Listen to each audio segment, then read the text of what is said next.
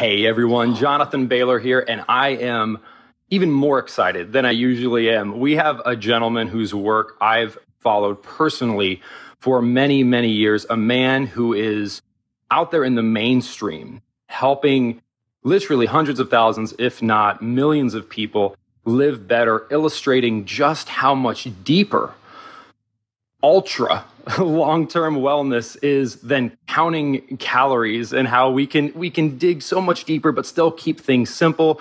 He's the author of myriad number one New York Times best-selling books, including the Blood Sugar Solution, Ultra Metabolism, the Ultra Mind Solution, the Ultra Simple Diet, and he is also the co-author of Ultra Prevention. I am ultra excited to welcome Dr. Mark Hyman to the show. Hey, Dr. Mark, how's it going? I'm great. Thanks, Jonathan. Thanks for having me. Well, Dr. Hyman, it is an absolute pleasure, absolute pleasure to have you here. And before we dig into all things medical and deeper than calories, can, can you can we take a step back and you're an MD, you're a practicing physician. How did you make the transition from let's call it your normal everyday physician to the Superman sort of physician that you've become today? Well, you mean how did I get into the ideas that I'm working with now, or how did I get to have best-selling books? A, a little bit of both, right? I mean, because you, are still a practicing physician. How do you fit it all in? That's right. Yeah. Well, you know, hard work, basically. you know, I think I think uh, I started out predisposed to these ideas. So I I actually was very interested in integrative medicine before it was called integrative medicine. Nutrition I studied in college. I studied yoga. I was very interested in the role of nutrition and health. In fact, in medical school, I was sort of an outcast and a pioneer thinking about these ideas. And uh, in college, I read a book called Nutrition Against Disease, which was a very profound book by Roger Williams, the father of uh, sort of biochemical individuality, one of the fathers of functional medicine. And that book really kind of woke me up to the possibility of using food as medicine. Mm-hmm. And that was just in my consciousness. And, uh, and, then I went through medical school and I got brainwashed. And uh, I basically realized that, uh, you know, after a while doing this, that giving prescriptions to patients to deal with symptoms wasn't the solution, that I needed to get to the root cause. And the root cause was usually what they were eating and their lifestyle and the environment. And that's what functional medicine is. It's a way of dealing with the cause is not just the symptoms. It's medicine by cause, not by symptom. And it's a very profound way of thinking about how to create health. It's really the science of creating health. Uh, so that's what I do every day in my practice. I have an ultra wellness center in Lenox, Massachusetts, and we work with thousands of patients. And we help them regain their health from complex issues that really no one else can figure out because they're not thinking the right way. So it's really a thinking problem. And when, when you use the roadmap, the, the, the architecture of functional medicine, you begin to look through a different set of lenses and you begin to see patterns and how things connect and how everything relates to everything else. And using that information, you can help someone create health. Uh, and food is just a natural part of that. In fact, it's the most powerful drug that I have. I use other other treatments, but food is by far, in a way, the most powerful drug on the planet. And food seems like it's so much more than just calories, Dr. Hyman. I mean, why why why is it still controversial in the mainstream Western medical community that things that we put into our body that uh, other than prescriptions can have a uh, pharmacological right. effect? Yeah, well, that's great. I mean, I, I, you know, written a lot of books, and I wrote my first, uh, you know, book really talking about this was ultra metabolism about eight or nine years ago. Really, where I brought up the idea that all calories are not the same. That really the calorie myth thing that you talked about is really what's what's what's keeping us back, which is the idea that it's all about energy balance, calories in, calories out. Food is just energy, and if you focused on that, you'd be successful in losing weight. Well, it's not really working. Exercise more, eat less, just doesn't work. So the question is, what's really going on here? Food is not just calories, it's information. It's a big headline right? Food is not just calories, it's not just energy, it's information. What do I mean by that? Well, information, it gives instructions to your body. So it's, it's like a software coding your body, telling it what to do. It's, it's messages sent directly to your DNA with every single bite. So it's not just protein, fats, and carbs. It's not just fiber. It's not just vitamins and minerals. There's also other components, phytonutrients and phytochemicals from food that we don't think are essential, but are actually regulating all sorts of biochemical processes, regulating inflammation and detoxification and um, immune function. We have uh, also RNA, uh, plant RNA is now being absorbed, but we realize it's being absorbed into our bodies and regulating our own genes. So plant genetic material is talking to our genetic material, telling it what to do. Uh, and also, protein, fats, and carbs are not all created equal, right? Mm-hmm. So we have different qualities of the food. So protein from, let's say, a, a, feedlot cow is very different from like a wild elk in terms of its composition, in terms of the fatty acids that are in there, in terms of its effect on your immune system, in terms of effect on your metabolism. Um, so it's really important to understand these very fine differences between these different foods. And so you begin to realize that food is actually medicine, that when you go to the grocery store, you should be thinking of it as your pharmacy, F A R M A C Y, right? we need to be thinking of pharmacology in a different way, which is F A R M O C, you know, O L G Y, right? So pharmacology is really the idea that that what we're growing our plants is really the medicine that we should be using, and and uh, it's not like a drug. It actually is a drug. In fact, it regulates it regulates your your gene function. It regulates your your enzymes, your biochemistry in very direct and specific ways that are very well mapped out. And I think that's what people just don't get. And what they put on their fork at the end of the day is really the most important thing they can do for not only their health and for the health of the planet and the environment as well. Dr. Hyman, with all the patients you see, I can imagine that you may once in a while get someone who comes in and says, "But, but Mark, come on, that wasn't there that professor that ate 1,400 calories of Twinkies and Ding Dongs every day and lost weight? Why, why can't I just do that?" Well, you could. you could absolutely do that, and you might lose weight. If you restrict, if you restrict calories enough, you will lose weight. But how will your health be, right? Weight loss is not the same as health creation. In fact, the thing that I focus on with patients, I never tell patients to lose weight. I never say, you need to lose 30 pounds or you need to be on a diet lose weight. Never. What I teach them is how their body works and how to create health. And when you create health, weight loss happens automatically. You don't have to make people lose weight. You just teach them how to eat in a way that nourishes their body. And we know that, you know, processed, you know, drinks that, that, that people use like Slim Fast or, uh, or, or, or eating Twinkies or Subway diets. I mean, those can help people lose weight, but that doesn't mean you're healthy, right? So we have to sort of not conflate the idea of weight loss and health and really teach people that the information they put in their bodies is really the main determinant of the quality of their health, the quality of their lives.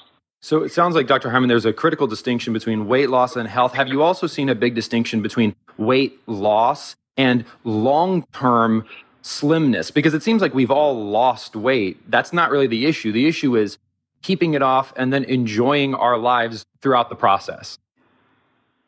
Right, right, right. So, so last night I, uh, you know, had a group of people over for dinner, and uh, one of one of them was my patient, is a friend who's also a patient and you know have her on a diet that's a healthy diet. And people think it's about deprivation it's about not having good quality food it's about you know going on and off a diet. It's, it's not it's eating in a way that sustains you. So we made roasted chickens.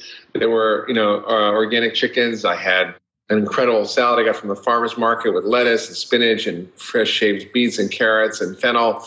We had uh, roasted sweet potatoes.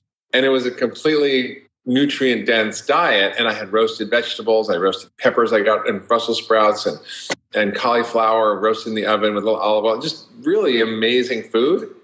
And it was not a deprivation diet. It was it was something that's that's incredibly delicious. And someone said, This is the best chicken I've ever had. This is the best meal I've ever had. That's what we should be saying every day. Not that, oh, this is a job that's deep it's like, you know, it's it's eating medicine. It doesn't taste like medicine. It tastes like a, a delicious, nourishing meal.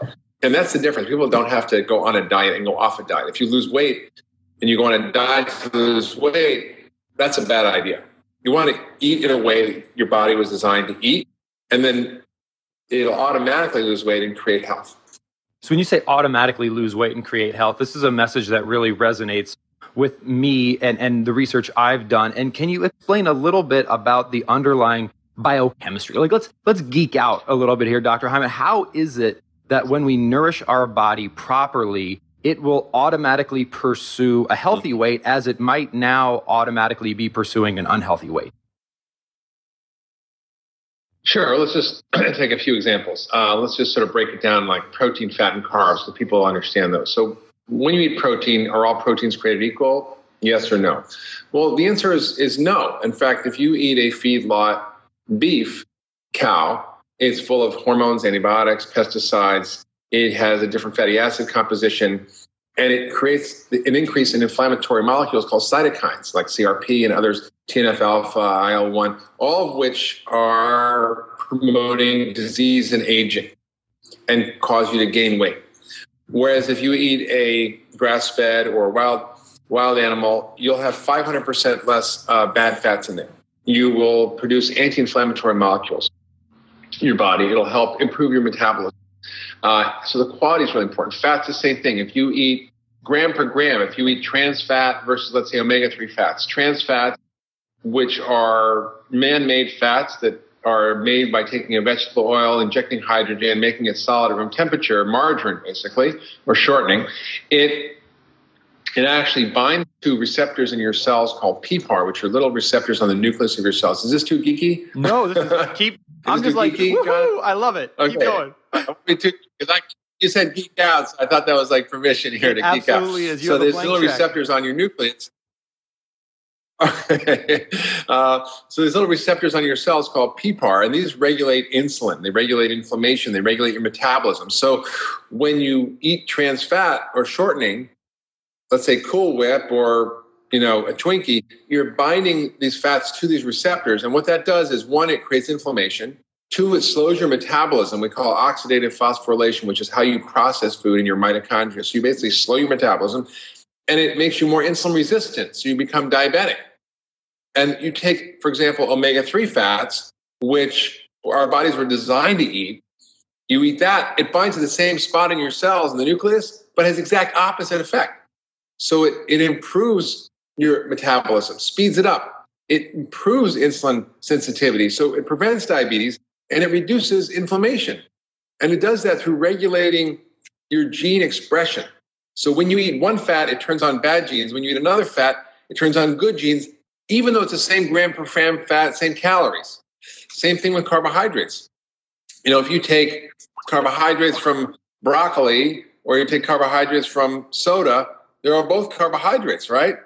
But not all carbohydrates are the same. Soda will be all high fructose corn syrup or sugar, and it will drive a fat factory in your liver that will produce uh, a fatty liver, create lipogenesis, which is like this fat factory, and you, you, you create the production of a fatty liver it increases insulin resistance, increases inflammation. It messes up your hormones. In men, it lowers testosterone. In women, it increases testosterone. It leads to, you know, a whole cascade of events that leads to uh, heart disease and diabetes and cancer. Whereas if you have the same number of grams of carbohydrate from, let's say, broccoli, it's full of fiber, full of phytochemicals like sulforaphane and glucosinolates it's full of folate, magnesium, other vitamins, all of which optimize your metabolism, none of which raise your blood sugar, none of which create insulin production, none of which uh, make your cholesterol abnormal, which the, the sugar from carbo, uh, carbohydrate from, from soda will do. So even though it's exactly the same calories, totally different biological effect.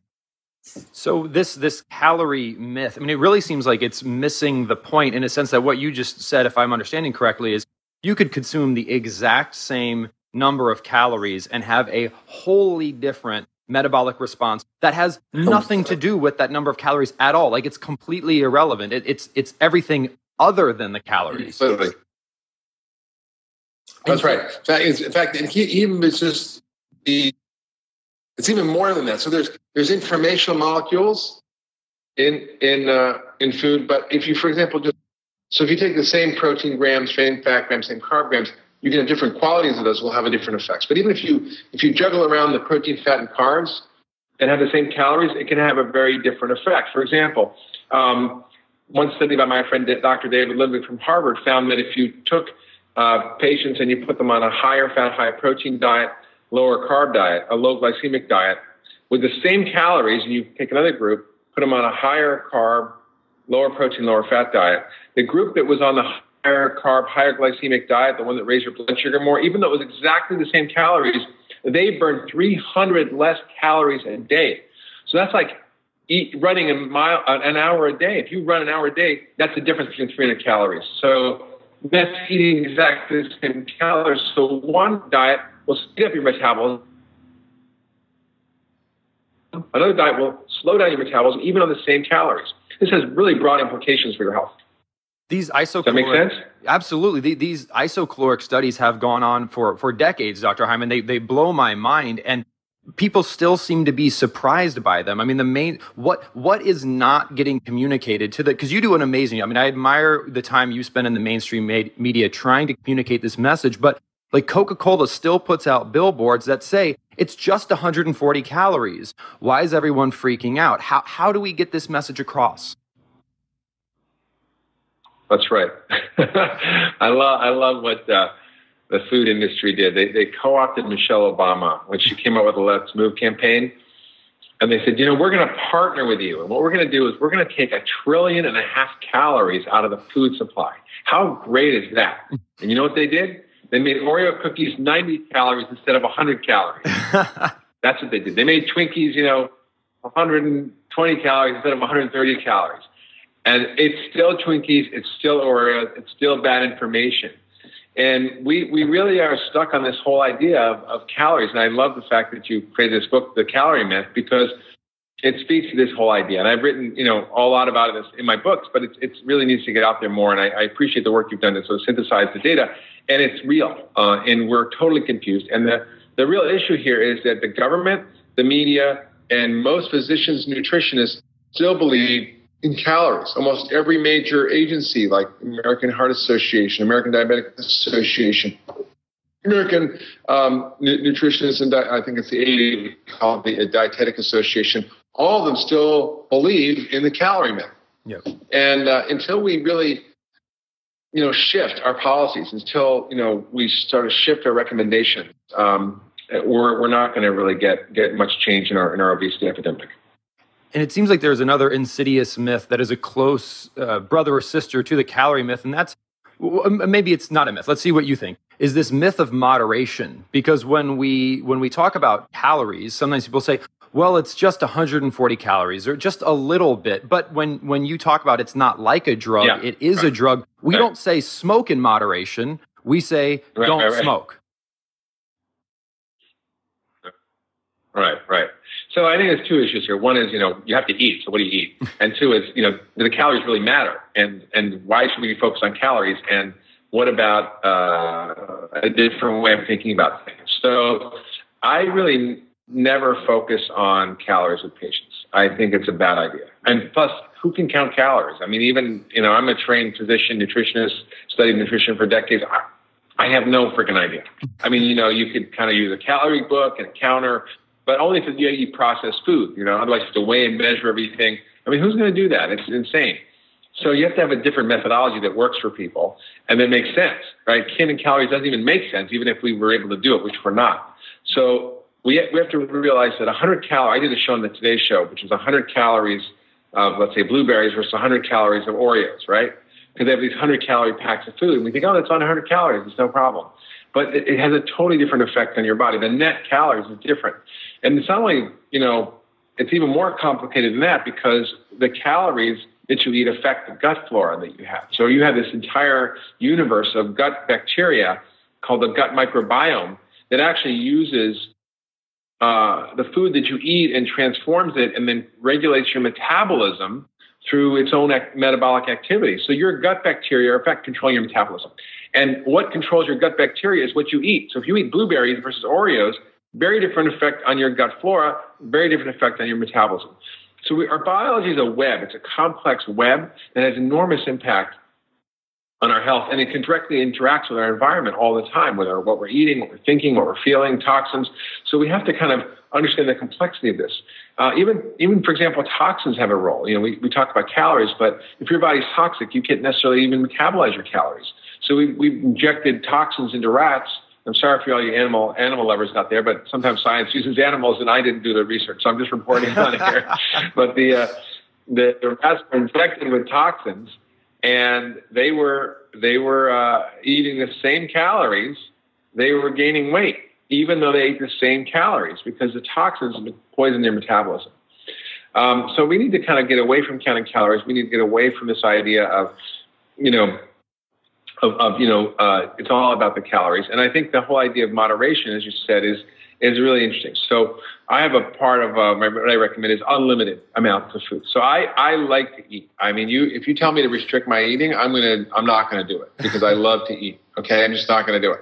So I'm gonna eat foods that I can eat a lot of. Right. So last night, what I I had I had enormous we had enormous salad. So I must have had three plates of salad, which was spinach and uh, a great kind of lettuce. I know what some kind of funky lettuce from the farmer's market, grated beets, grated carrots, fennel.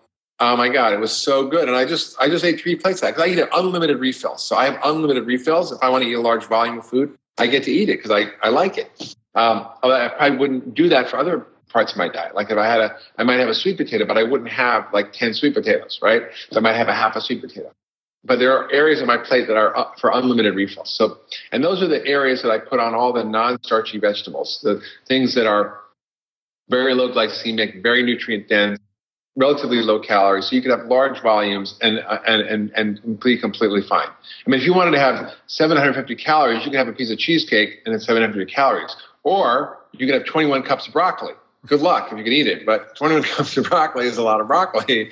But uh, you know, the point is, you can just eat as much of that stuff as you want, and there's a lot of benefits to it because it provides all the nutrients and nutrient dense compounds you need.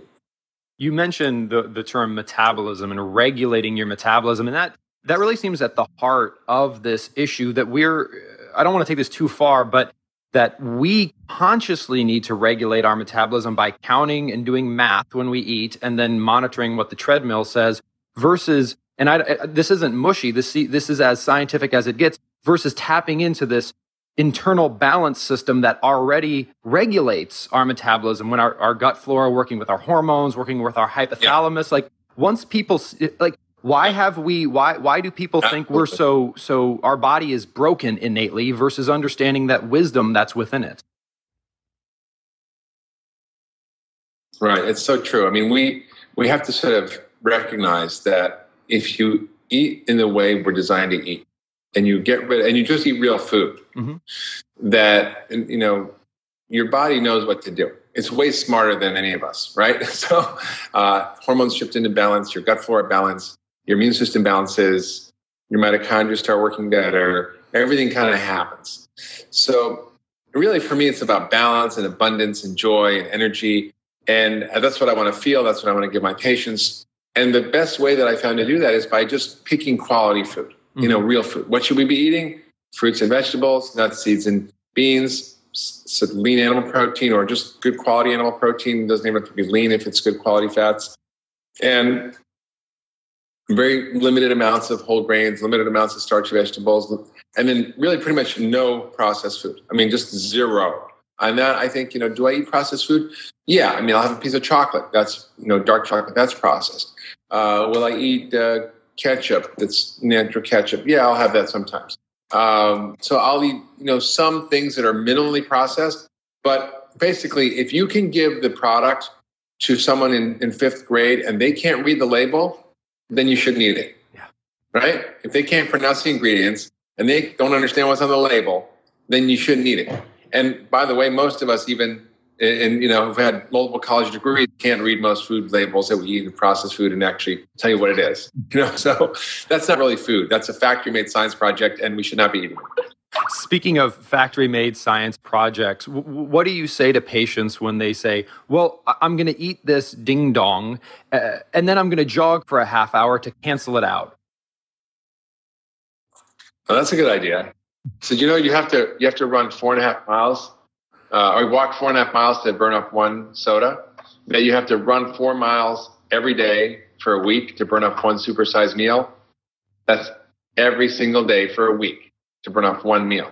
If you eat that every day, you'd have to run a marathon every day. So if you want to run a marathon every day, fine, eat whatever you want. But I, even then, I think you're not getting the right information. So I think the whole idea that you get to have a workout treat, you work out, you get to have a drink and this and that, these are just bad ideas. I mean, unless you're Kobe Bryant running around the court for 48 minutes flat out, you don't get Gatorade. You know what I mean? Like it's just not a sport. And then even that is, it's got all kinds of issues with it. So I, th- I think, um, you know, we, we have to forget about counting calories, forget about even calories when we exercise. We need to figure out what kind of exercise we need to do. What's the quality exercise? What's the quality food? And then forget about it. And your body will figure it out. Your body figures it out. You don't have to get in all this kind of technical mumbo jumbo. We didn't do that for centuries. We still don't need to do it. If we focus on what's true, what's real, and essential, the rest all works out. Well, so Dr. Hyman, what what can we expect? Let's say we are one of these individuals, because I've seen this in my my own life and the lives of, of my loved ones, where maybe we are really active and we can get away with eating some of these foods which spike our blood sugar and infuse us with these toxins. I mean, that, that gets back to your earlier point about sure, you can be skinny and sick, can't you? Yeah. Yeah. You know, what's really frightening is that, uh, well, we have about almost 70% of Americans are overweight.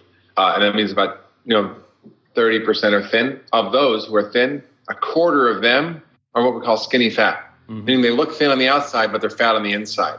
They're sick on the inside and look okay on the outside. And how is that? Because the information they're putting in their body is creating changes that lead to obesity. But it's not obesity that you can see, it's the same metabolic biochemical picture as if you were fat, but you're skin.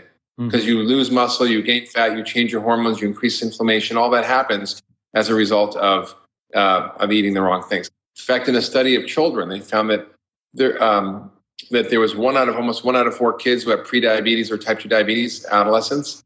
But what was me more frightening, there were about 37% of the skinny kids. Yeah.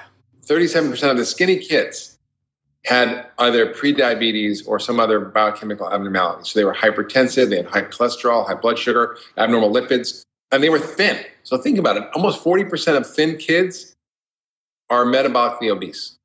What are the implications for that in terms of heart disease, diabetes, and all the rest of the things we see as people age? Dr. Hyman, that really breaks my heart and is one of the things that gets me up in the morning is if you go into a school cafeteria and you look around, it's not like there's a group of kids who are eating kale and wild caught salmon and they're the thin kids. And then there's a group of kids that have Cheetos and Pepsi and they're the overweight kids. All the kids are eating basically the same garbage in most schools and some are skinny and some aren't. What's going on there? Yeah. Well, I think we're all genetically quite different. So some of us are more likely to gain weight, others just get skinny fat, which is, you know, skinny on the outside, fat on the inside. And some people, you know, have very resilient metabolisms and can tolerate a more wide range of stresses. But eventually, uh, you know, it, it catches up with you. I mean, there, you know, Eubie Blake said he lived to 100 years old. He says, if I knew I was going to live so long, I, w- I, would have, I wouldn't have smoked and wouldn't have drank so much. so there are there are people who just you know got the lottery, and uh, and that's true. But for most of us, it's just not true. And what is this? It, it, seems to be a bit of a moralistic uh, a view many in our culture have on obesity where and you've probably seen this in your clinic where a, an obese person will come in and say, I, I swear to you, Dr. Hyman, I'm eating, I'm not eating any more than my peers. And mm-hmm. I, I stop yeah. when I'm full. I, I don't yeah. know what else to do. And then the, the mm-hmm. media just tells these people they're, they're weak and should try harder. What do you say right. to them? Well, you know, it's interesting. The, the, the, the, sort of social stigma on obesity is huge. And, and they've done studies on this where they've, you know, asked kids, would you rather be in a wheelchair or be fat? And they'd rather be in a wheelchair, be disabled than be fat because of the level of stigma. And part of it is because we really blame the fat person in this country. You know, if someone's in a wheelchair, we don't blame them for being in a wheelchair. But if someone's fat, it's your fault. You're just a fat, lazy pig and you eat too much. And just stop stuffing your pie hole and everything will be fine. Get out of your you know, you know, get out of your chair and start walking, and you'll be fine. Unfortunately, that's just so not true. Nobody wants to be fat. Nobody wakes up and says, you know, I want to be fat. I'm going to just make myself fat because I want to be fat. It just doesn't happen like that. What happens is that there's a, a, a hormonal biological reality to us that gets triggered in response to eating 150 pounds of sugar and 146 pounds of flour every year per person. So that's almost a pound of flour and sugar combined every day for every man, woman, and child in America. When you do that, it triggers biological addiction, which is actually the subject of my next book, The Blood Sugar Solution 10 Day Detox Diet, that's coming out in February. And we get triggered into a set of, of, of physiologic responses that create this ongoing cycle of, of, um, of chaos, of hormonal and biological chaos that creates obesity. And when you are in that state, it's it's almost like your biochemistry is locked in in this state. And even if you actually don't eat that much, there are all kinds of factors that are driving you to keep the weight on. Uh, it could be the type of food you're eating. If you're not eating that much, will increase insulin. It could be that it's inflammatory foods. It could be that you're allergic. It could be that you're toxic. It could be that you have abnormal gut flora. All these things will drive you to gain weight independent of your calorie intake. Beautiful, beautiful segue there, Dr. Hyman. You'd think we'd plan this. so, speaking of your wonderful February release of the Blood Sugar Solution 10 day detox diet and addiction, what is the you have a different take on detoxes. The cleanses, detoxes have been talked about for a while, but I, have always admired your metabolic understanding. What can we expect uh, to to to see in this book, and and how is it different from some of these more gimmicky cleanses and detoxes out yeah. there? I mean, listen, you know, you can do a juice cleanse, you can do a flush, you can do all kinds of stuff, and all that's great. I mean, all that's wonderful, and people can get a short term benefit and clear out their diet. And I encourage people to experiment with that. But what I'm really talking about is true detox, like detox from heroin or detox from cocaine or detox from nicotine or caffeine. These are biologically addictive substances, and the science has shown us unequivocally that these foods are biologically addictive the processed foods, that sugar is biological. Sugar is eight times more addictive than cocaine. There was a study at Connecticut College a few weeks ago showed that Oreos lit up the brain like cocaine, not even like cocaine, worse than cocaine, right? So would you give your kid a line of Coke? No, but you'd give them Oreo cookies when they come home from school. Does that really make sense given what we know about the biology of food addiction? So most people are hooked in this cycle of food addiction. And the purpose of my book is one to bring consciousness to this idea that processed foods, that sugar in pharmacologic doses is biologically addictive. And two, to provide a clear path for people to detox and reset their hormones, reset their metabolism, and get unhooked from food addiction.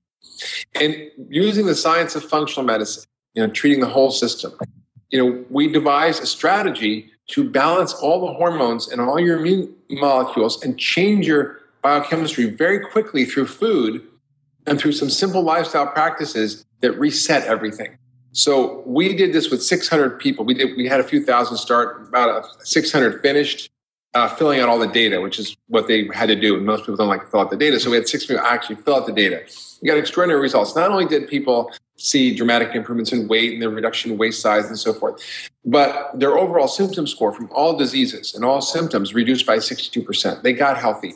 And, and thirdly, their addiction was gone in a couple of days. I mean, you go through a physiologic withdrawal. I mean, if you take rats and you addict them to sugar, and then you cut the sugar out, they go through withdrawal, just like if they were getting them off of heroin or cocaine. They have agitation, they have the shakes, they're irritable, they're just agitated, just like what happens when you get off sugar. But the way I've designed the program is to minimize all those effects and to quickly redial all your molecules and your hormones so that you don't feel that. So I really want to bring to light the addiction story. I want to bring to light that there's a path out of that and that, that there is rehab for your metabolism. It only takes a few days. And in 10 days, people can completely reset. It's such a it's such a compelling message for two reasons, Dr. Hyman, I feel. And, and the first is that it really does show that this isn't a moral failing of people. It's an information no. problem because I don't know any parent that gives their child cocaine. Why? Because they know how bad it is for them. So it seems like step one is, like you said in your book, the, the blood sugar solution 10 day detox diet, to educate people on how much more serious this really it's is. Very it's very serious. I mean, it's when you really stop and think about it, it's very serious because if this is true, and I believe it is, and the science shows it is, then the implications are huge. Why do we allow this without warning labels? I mean, we allow alcohol, we allow nicotine, right? But there's warning labels. You know, don't drive when you drink this. This will kill you if you smoke it. You know, okay, we should have on every label of soda should say, if you drink this, it will cause addiction, and make you fat and sick and kill you. And yeah, I mean, that's what it should say. It should be proper food living. I know that sounds like a crazy idea, but if this, if this is really true, and it is, then we need to, we, we, we regulate seatbelts, we regulate vaccines, we regulate, you know, all sorts of things in society. We make people um, regulate tobacco. I mean, we, we have regulations that protect our citizens, right? We need to think differently about this. And people say, well, people have to eat. Yes, they do but they don't have to eat junk food. They don't have to eat processed food. In fact, these were just new inventions in the last 50 to 100 years. It didn't exist before. So, no, we don't have to eat that. Uh, and I think it's a it's a problem because we've got a one trillion dollar food industry that profits from making people sick and fat, and that's not going to go away easily. And it's going to take people like you and me and others talking about these issues, getting out there in the news, the media, changing the conversation, getting people to have the experience, having them talk about it, and seeing the truth about this. Because this isn't just a, a new gimmick. I mean, your book, Calorie Myth, it's not a gimmick. It's not a a quick fix thing. It's a, it's an intelligent conversation about why we're in this pickle and why everybody's advice isn't working. Just eat less, exercise more. It's all about the calories. It's all about energy balance. This is really the myth that's getting us into trouble. Dr. Hyman, I'm, I'm got, I got a little chills here, so I can't think of a better way to end the show. But tell us a bit where we can learn more about your upcoming book, The Blood Sugar Solution 10 Day Detox Diet, as well as you just have so many free resources. Where can we get yeah. more info? So you can go to my website, drhyman.com. I've written the book, The Blood Sugar Solution, The Blood Sugar Solution Cookbook, which are great resources. I have plenty of free articles and videos on my website all the time. And um, in my book, it's coming out in February with a public television show that's coming out at the same time. And, and I'll be having an online course that'll be supporting people to actually participate. And I believe that it's not just about doing it alone, it's about doing it Absolutely. in community. And the power of the community, the power of friends and social networks and peers to, to sort of encourage you, connect with you, support you is really going to make this much easier. So all those available, and, and, and uh, want to pre-order the book, go ahead. It's I think it's up on Amazon now. I love it. Well, friends, if you have not checked out uh, Dr. Hyman's work, absolutely please do.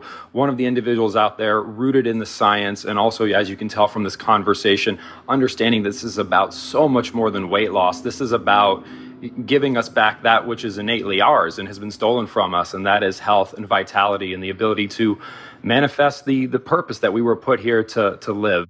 Uh, we're not just all lazy and stupid. There's something else going on. So, Dr. Hyman, thank you so much for all the work you do, all the lives you save, and for sharing your time with us today. Thank you. Thank you, Jonathan. That was great. Listeners, again, thank you for joining us. Please check out Dr. Hyman's work. And remember, this week and every week after, eat smarter, exercise smarter, and live better. Chat with you soon.